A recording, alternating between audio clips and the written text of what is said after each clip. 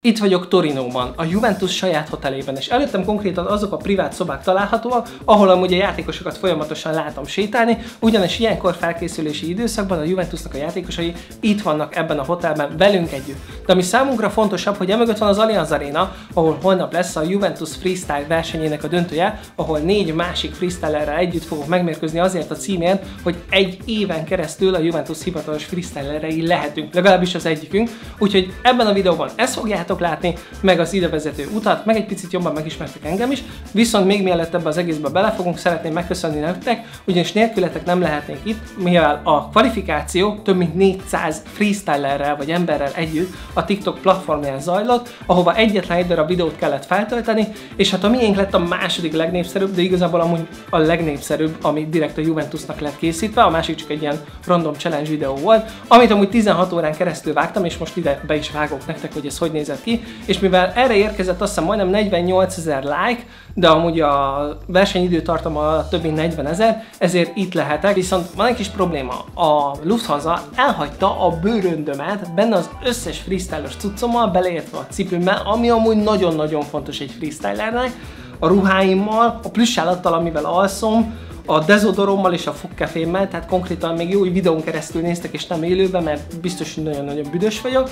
Na mindegy, ettől függetlenül nézzük pozitívan a dolgokat. Itt vagyunk, illetve sikerült nagyjából helyrehozni ezt a majdnem 10 éven keresztül tartó sérülésemet, amiről egy picit most bővebben fogok nektek mesélni, hogy mi is az a fokális disztónia.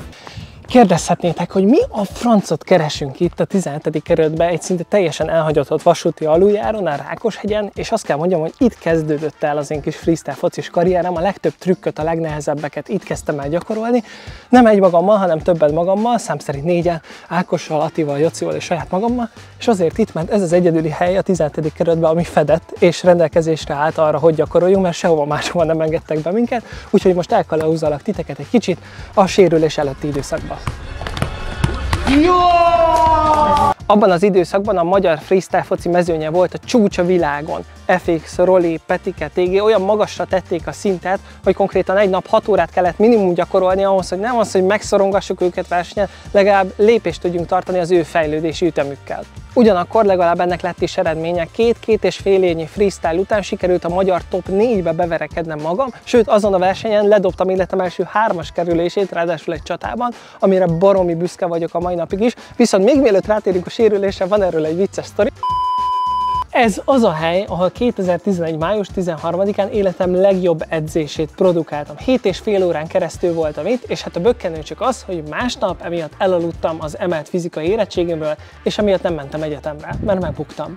Ugyanakkor bárki nézi ezt a videót, ez egyáltalán nem jó dolog, viszont nekem nagyon kellett az az egy év érés, és hát végül csak mesterdiplomás gépésztár megtervező mérnök lettem, úgyhogy kellett ez a komoly edzés aznap. Mondanám, hogy megcsinálom a hármas kerülést úgy, ahogy 2011-ben, pontosan ugyanitt, viszont van egy kis probléma, azóta nem tudok dekázni. Azon a nyáron, 2011-ben elkezdtem érezni, hogy egyre közelebb kerülök a topmezőnyhöz, egyre nehezebb dolgokat tudtam megcsinálni, és úgy éreztem, hogy igen, én is csatlakozhatok ez a szűk elit körhöz. Viszont a nyár folyamán egyre jobban elkezdett fájni a jobb lábam. Már annyira, hogy egy világkör elindítása is baromi fájdalmassá vált, és szeptemberben kimentem gyakorolni, megpróbáltam dekázni, és azt vettem észre, hogy a lábam, mintha lebetonozták volna a talajra, nem jön fel. Egy olyan természetes mozgás a dekázás, ti biztos tudjátok, mint amikor megfogsz egy kést, egy villát, leveszed a fokrémet, tehát ezek ilyen alapvetően bejáratott mozdulatok, viszont nem ment. Ott ragadt a földön, és nem tudtam dekázni egyre jobban felidegesítettem magam, próbáltam beleérni a labdába, de egyre nehezebbé vált. Tényleg olyan érzés volt, mintha valaki egy 10 kilós súlyzót rárakott volna a lábfejemre, és nem tudok tőle szabadulni. És ez egyre rosszabb és rosszabb lett, méghozzá annyira, hogy egy idő után már a járásban is gátolt, tehát konkrétan jártam az utcán, és úgy néztem ki, mint akinek mankóra lenne szüksége, mert vonszolom saját magam mögött a lábam, és akkor elmentem a sportorvoshoz, meg hát a sportkórházba, hogy hát ha tudnak rajta segíteni. Másfél év alatt 177 alkalommal jártam gyógytornásznál. 91 alkalommal jártam meg a fizioterápiát, és 14 orvos próbált meg rájönni másfél év alatt, hogy mi a fene problémája van a Lipták Zoltánnak. És nem tudták kideríteni. Hogy tudták volna kideríteni, amikor konkrétan még nem is lehetett tudni, hogy ez micsoda? Úgyhogy amúgy nem feltétlenül az ő problémájuk, szerintem a tudásukhoz képest a legjavát próbálta meg mindenki hozzátenni, tehát bennem amúgy nincs harag a magyar egészségügy felé, még a magánorvos felé sem, bár erősnek éreztem azt a leúzást 25 ezerére, amikor annyi volt a tanács, hogy talán Zoltán ezt abba kellene hagyni, nem? Viszont 2013-ban megtörtént az áttörés. Nem, nem a sérülést illetően bekerültem a ma Freestyle FC csapatnak ismert teambe, ami óriási megtiszteltetés volt annó, meg szerintem a mai napig is, hogyha valaki ebbe a csapatba belekerül és ide fog hozzánk tartozni, és onnantól kezdve nem volt megállás, valahogy otthon Forma 1 szimulátor segítségével, a pedál nyomkodással valahogy életet kezdtem lehelni ebbe a lerakat jobb lábra ami amúgy nem tudjátok elképzelni, hogy mennyire idegesítő. Tehát konkrétan van erőd, jól érzed magad, egészségesen táplálkozol, iszol, eszel, megvan mindened, de egyszerűen kimész, és akaratod ellenére nem tudsz semmit se csinálni. Tehát, hogyha én nem bőgtem összesen szerintem 60-70 órát emiatt a probléma miatt, akkor egyet sem. Tehát ott álltam konkrétan a betonplacon, és bőgtem teljesen egyedül, mert nem tudok vele mit csinálni. Ebben az időszakban teljesen átszoktam jobb lábról bal lábra, mert legalább azt eleinte nem érintette ez a probléma, és 2014 körül egészen jól sikerült ezt a problémát leküzdeni, annyira, hogy rögtön vissza tudtam magamat repíteni a legjobb négybe, tehát nagyon gyorsan visszajöttek azok a trükkök, mozdulatok, amiket korábban nagy nehézségek árán tudtam megcsinálni. Ugyanakkor 2017-ben megalakult a Freestyle Focit YouTube-on. Korábban is voltak már videók ezen a csatornán, ezért látjátok azt, hogy 2006 óta létezik ez a csatorna, de alapvetően az a régi csapatról szólt, nem ilyen vlog formátum volt, és alapvetően az egész elgondolás mögött, hogy elkezdjünk videókat gyártani ide közösségi médiára az volt, hogy promótáljuk, reklámozzuk a fellépéseinket, mert nekünk többségében abból van pénzünk. És az egyetem mellett egy elég jó kiegészítésnek számított, úgyhogy emiatt se Zoltánnak, se Máténak, relatív mi voltunk ketten akkor nagyon egyetemisták, nem kellett elmennünk, mondjuk Tesco-ba árut feltölteni, KFC-be dolgozni, talán Máté amúgy egy napot még ott volt, de én is maximum egy úszómesteri képzést jártam meg, úgyhogy emiatt alakult ki az, hogy most is vannak freestyle fc videók, mert annól úgy gondoltuk, hogy ez egy jó lehetőség arra, hogy eljárjunk fellépni hozzátok. Ahogy engem is, meg sok más youtuber is már beszámolt arról, nagyon elkapott minket a hév egy időbe, és emiatt folyamatosan újabb és újabb videókat akartunk gyártani nektek, hogy a ti vágyaitok kielégítsük, mert az számít, hogy minél nagyobb nézettségek legyenek, minél több bevételt hozzon, és egyszerűen én is belekerültem ebbe a mókuskerékbe, és jól megszívtam, mert a jobb lábamba ugyanúgy visszatért a probléma, de ez nem volt elég. 2019 tavaszán kimentem egy gyakorolni, miután amúgy kiullott kb. az összes hajam az egyetemi vizsgai időszak, meg így a YouTube összemixelése miatt, és a bal lábamnál is kialakult ugyanez a probléma, aminek akkor még tényleg egyáltalán fogalmam sem volt, hogy van, létezik-e bármi neve egyáltalán.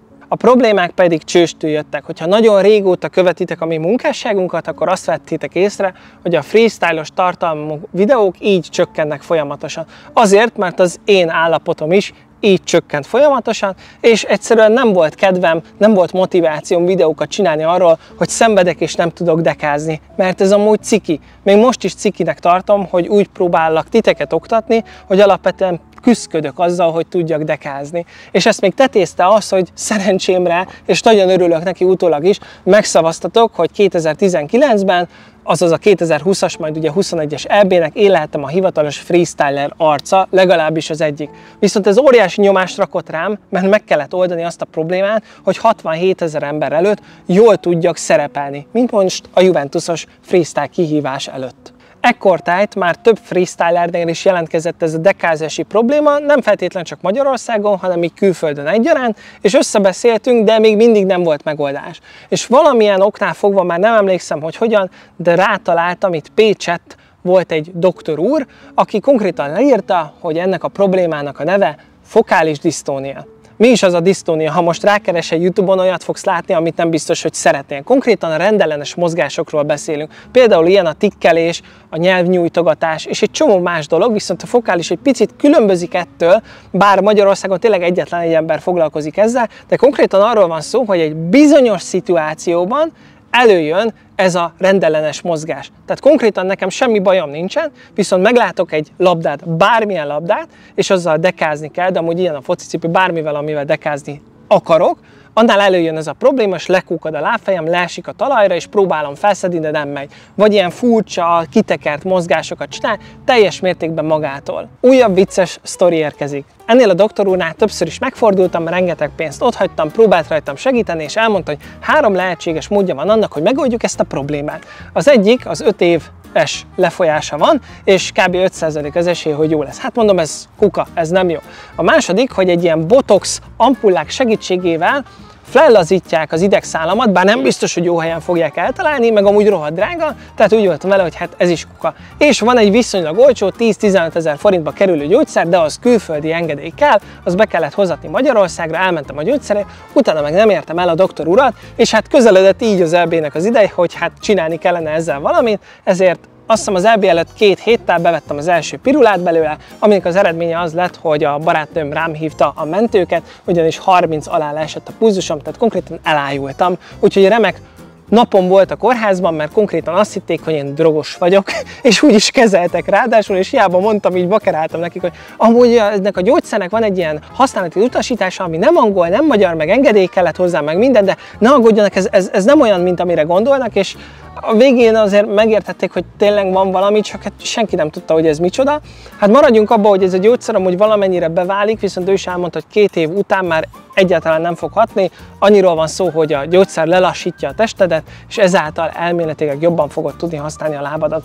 Én is észrevettem minimális javulást, de nem ez a módszer sok esetben, hogy egy gyógyszerrel megpróbálja megoldani az ember a problémáját, itt valami mást kellett találni. Hosszas keresgélés után rátaláltam Bruce Chills-nek a könyvére, amit ide berakok a leírásba, hogyha valakinek hasonló problémája lenne, de alapvetően a könyv nagyon jó, sok mindent megtudsz benne saját magadról, amiben egy ilyen hét lépcsős szerelési útmutató van arra, hogy megold ezt a fokális disztóniának hívott problémát. Ugyanakkor már a második lépcsőnél megakadtam, ugyanis ezek ilyen meditációs gyakorlatok, és olyan rémálmaim lettek folyamatosan, hogy fel kellett keresek egy pszichoterapeutát, úgyhogy itthon Magyarországon is járok hegyhez, meg külföldre is, aki Zoom meetingen keresztül segít nekem, az egy kicsit borsosabb azzal a 75 ezer forintos óradíjával, ami amúgy egy Zoom meeting, de ettől függetlenül remélem, hogy sikerül ezt megoldani, úgyhogy ennek a videónak majd értelemszerűen lesz egy második felvonás is, ugyanis, ha hiszitek, hanem működik. Tehát ez egy szoftveres probléma, és hogy mi ez konkrétan, arra van szó, hogy a freestyle-ban, meg amiket korábban elmondtam, a finom motorikus mozgásokat használjuk, tehát a lábujjaim mozognak többségében, így jönnek létre a trükkök,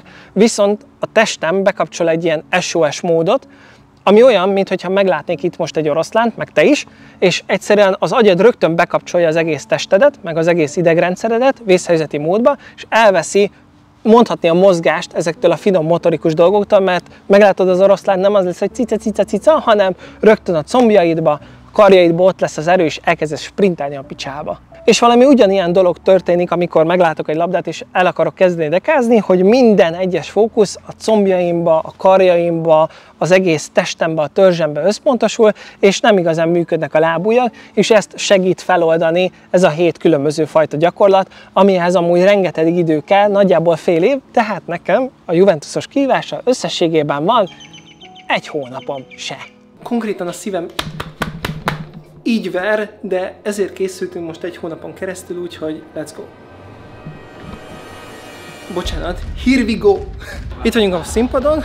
Elsőre a bátyja a próbán egészen jól teljesített. Az első challenge egy first touch challenge lesz, de ez nagyon múlik majd a játékosok dobásán, de amúgy 5-ből 4-et sikerült megcsinálni, a másik pedig egy ilyen fejentartás challenge lesz. Na az amúgy para lesz, mert azért itt mindannyian freestylerek vagyunk, tehát nem nehéz a fejünket tartani a labdát. Úgyhogy meglátjuk utána a show. A challenge nem számít kb. amúgy semmit, pár pontot lehet hozni, de oda rakjuk a maxot, és utána jön a zsűrinek a véleménye. Összesen 30 pontot lehet bezsákolni, mindennel együtt összesen pedig 40 -et. Most már azért kezdek izgulni, meg volt az első normális próba, elpróbáltam a sót, most már olyan nagy gond nem lehet, kizárólag attól függ minden, hogy mennyire fogják értékelni. Parázok gyerekünk nagyon, mégiscsak nem akárki.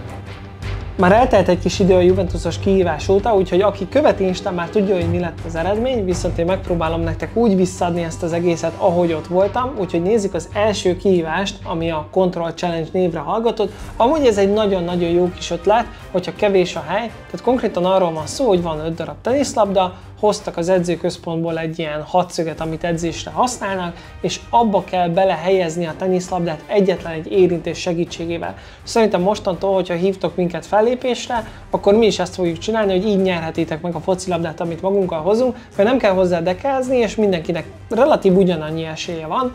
A gyakorlás során 5-ből 4-et sikerült lehozni, sőt volt egy majdnem 5-ből 5-ös próbám is, de többségében ezt az 5-ből 4-et tudtam produkálni, úgyhogy úgy voltam vele, hogy magabiztosan gyerekek odaállunk, és simán lehozzuk az 5-ből 4-et minimum, de meg lesz az 5-ből 5 is.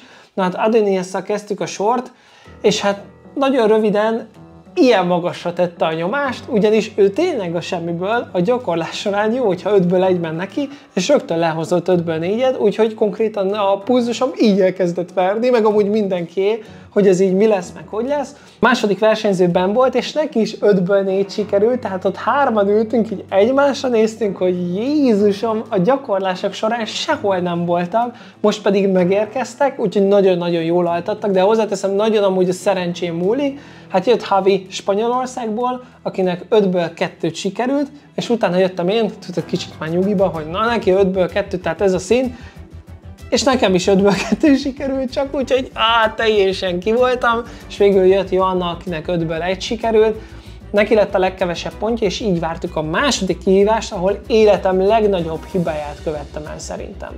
Második a Headstall Challenge volt, ami a fejentartás nevű trükk, és ez elméletileg Pogbának a kedvenc freestyle-os mozdulata. Annyi volt a lényeg, hogy Chipso elindul, felrakjuk a fejünkre a labdát, és közben vannak ilyen vezényszavak, hogy fel kell emelni a bal kezünket, bal lábunkat, jobb lábunkat. Kérdezhetitek, hogy hol van a jobb kéz, hát ugye az valami egészen más, mint Vinicius a csapatfotózás alkalmával megmutatta, hogy mit nem szabad csinálni, és hát elkövettem egy óriási hibát, ugyanis alapvetően én ezt a headstall úgy csinálom, hogy az orromon és a homlokomon keresztül támasztom meg a labdát, viszont hivatalosan ez a trükk úgy néz ki, hogy itt a homlok töveden támasztod a labdát. Hát ez picit ilyen genetikai kérdés, én pont azért nem ezt csinálom, mert az orros megoldás az valahogy így biztosabb, és pont a kihívás közben hallottam, hogy ezt nem szabad, függetlenül attól, hogy Anilias tovább folytatta ugyanezt, ezért én innen felraktam ide a labdát, és hát azzal már bőven nem voltam olyan magabiztos, úgyhogy leesett, és utolsó előttiként szálltam ki abból a kívásból, amit a gyakorlás során megnyertem, úgyhogy ezt amúgy elcsesztem, itt csalni kellett volna, ahogy mindig Lippi csalni szokott minden egyes videóban, nem értem, mi történt velem abban a pillanatban. Vezető pedig a Freestyle Foci Show mindenkinek egy perc állt rendelkezésére, hogy bemutassa a legjobb trükkét. Joannával kezdtünk, aki francia, egy tökre oké okay show rakott oda, minimális hibával, és a Pogba, amivel francia rögtön felmutatta neki a 10 pontot. Én meg ott álltam, hogy na gyerekek, 50 ezer eurós csekk az így, pá, Juventus freestyler, karrier, pá, Úgyhogy úgy voltam vele, hogy semmi baj, gyerekek, meg fogjuk próbálni, viszont volt még két pici alapvető probléma. Az egyik az, hogy egy ilyen fekete farmer nadrágot adtak ránk, és ha hanem én voltam ott a legvaskosabb, és nem tudtam benne felemelni elég magasra a lábamat, és cserélni meg nem engedték. Úgyhogy a nehezebb freestyle-os trükköket, amiket lábbal kell végezni, és beleakad a lábam, ezért így kidobtam a kukába, mert cikki lett volna egy óriási brét villantani konkrétan ott egy szakadás következtében. A második pici probléma pedig az volt, hogy beraktam a showba egy ilyen 10-15 másodperces zsonglőr elemet, hogy legyen valami igazán extra benne, ami ilyen különleges, és megbeszéltem a többiekkel, hogy odaadják a saját labdájukat, hogy megcsináljam ezt a cuccot, viszont mindenki ugyanúgy nézett ki, és ezért Havi végül úgy döntött, hogy ő nem adja oda nekem, miközben már mentem ki a színpadra, és kértem őket, hogy guys, please a ball, please, please, és nem adták oda a labdát, úgyhogy ott helyben átállt az anyom, hogy jó, most akkor improvizálni fogunk, történni fog, ami történni fog, megpróbáljuk a lehető legjobbat kihozni az egészből. Alapvetően úgy vagyok vele, hogy amit oda leraktam, az tőlem nagyon nem volt extra, viszont elégedett voltam a körülményekhez képest, amit nyújtottam. Végül amúgy a bukfences elem is összejött, amit nemrég kezdtem el gyakorolni, és nagyon bele akartam építeni ebbe a showba, úgyhogy annak amúgy nagyon-nagyon örültem ott. Végül csak kinéztem a zsűri, hogy gyerekek, ez vagyok én, jöhetnek a 10 pontok. Hát nem jöttek sajnos, de hát megátkoztam utána Havit elég rendesen, mert nem adta oda a labdát, és hát eléggé sokat hibázott. Magyar szokás, hogyha az én kutyám megdöglött, a tiéd is dögöljen meg kategória, úgyhogy hát neki sem sikerült. Aztán jött Ben, aki egy ilyen bazári sót csinál gyerekek, ő sajnos a legrosszabb freestyler így ötön közül, és így azért kapott majdnem max pontot, mert oda ment a zsűrihez pacsizni, Hát nem gondoltam volna, hogy ezt fogják díjazni, de ettől függetlenül ez van, és végül jött amúgy Adonias, aki amúgy szerintem teljes mértékben megérdemelten elvitte a sót, nagyon-nagyon ott volt. Hát gyerekek, Brazil, tehát benne van a vérében a bugi, nagyon át tudta adni ezt az egészet, és szerintem teljesen megérdemelten nyert. Azt már úgy kicsit féltve mondom, hogy Pogba alig akarta megadni neki a 10 pontot, Úgyhogy kicsit ott para volt, hogy lehet, hogy lesz egy döntetlen, de végül ő nyert, és amúgy ennek én nagyon-nagyon örültem végén, mert amúgy vele lettem talán a legjobban ebben a kis Juventusos táborban. Mivel amúgy legalább 400, de lehet, hogy 500-600-an is írtatok, hogy hajrá, csináld meg, legyen meg. Úgyhogy amúgy nagyon-nagyon köszönöm nektek a támogatást, mindenkinek egyesével nem tudom megköszönni. De ja, legalább van két Juve vezünk mindenkinek az aláírásával. Irány a Várj, még nem menj el. Mint említettem, két darab Juventusos mezem van, és az egyiket megnyerhetitek még hozzá ezt, amit Huysam, Pogba, illetve Fagioli is aláírt. Itt vannak az aláírások, és hát nincsen más dolgotok, mint felmenni az Instára, bekövetni engem, azt a posztot megtalálni, ahol ott van a mez, és hogyha megvan a 30 ezer követő, meg teljesítitek azokat a dolgokat, amiket a poszt alatt kérek, akkor megnyerhetitek a mez. Találkozunk hamarosan a következő videóban, remélem, hogy egy jó